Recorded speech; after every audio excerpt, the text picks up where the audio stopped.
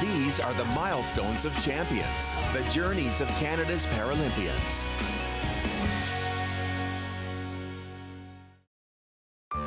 Josh Dueck, Paralympic alpine skier, adventurous, passionate, fearless.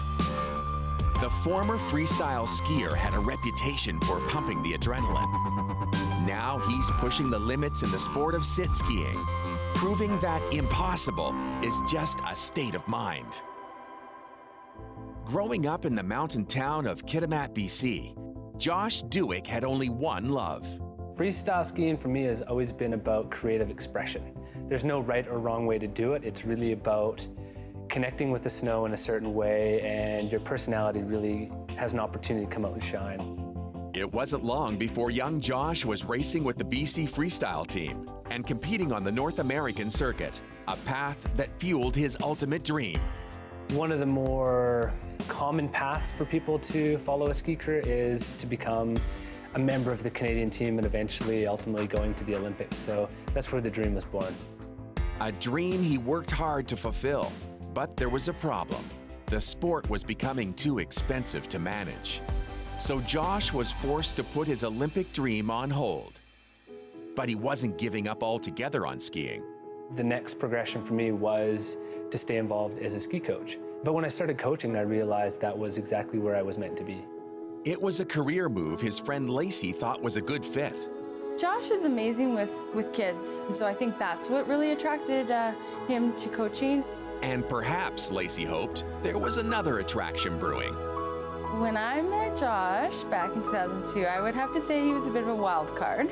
He was a skier, he had that free spirit, um, tons of fun, really easy to be around. The way I was living my life, I was a little bit crazy, maybe. Not super crazy, but a little bit wild. So when one of the kids he was coaching asked him to demonstrate a front flip, it seemed only natural then to just do it. Intuitively, I know I was going too fast and I was probably going to overshoot the landing hill, but ego was just like, dude, send it. I leaned out for this Superman front flip and I saw the landing hill come and go and ultimately over-rotated the front flip and overshot the landing hill and I was knocked unconscious on impact.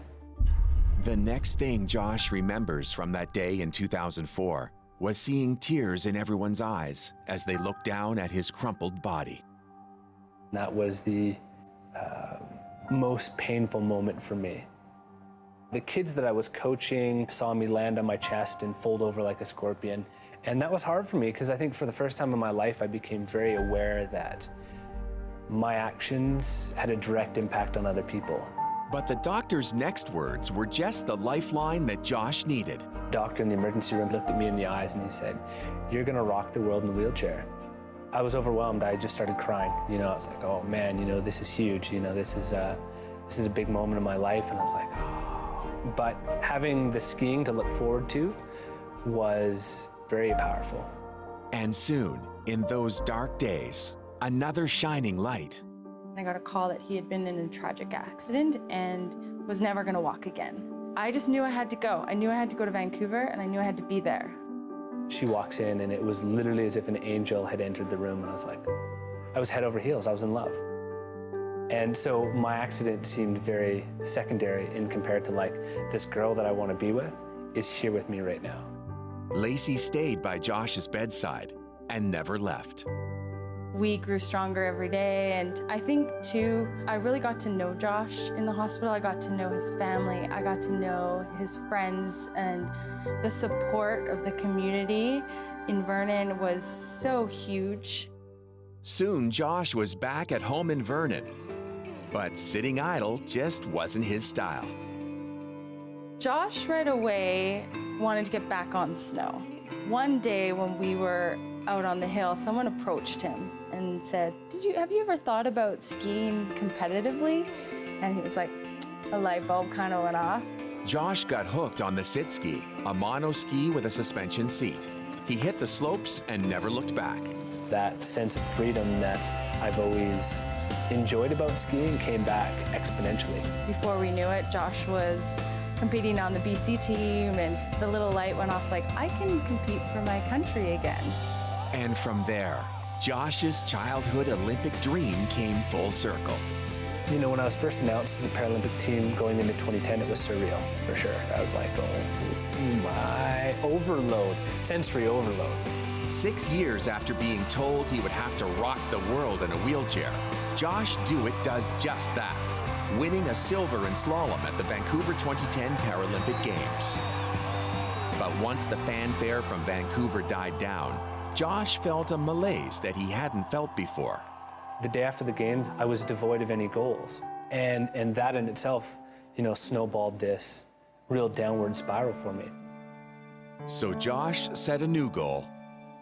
Going upside down on the sit ski was something that I dreamed of when I was first in the hospital, and it was probably my freestyle buddies are like, dude, you know, the sit ski thing sounds rad. Like, you think you can do freestyle tricks on it? And I'm like, yeah, for sure.